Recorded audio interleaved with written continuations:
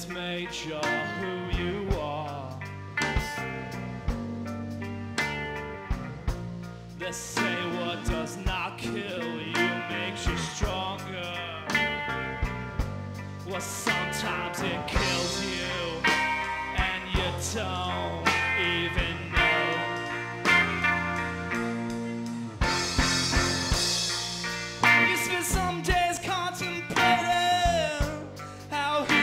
your heart.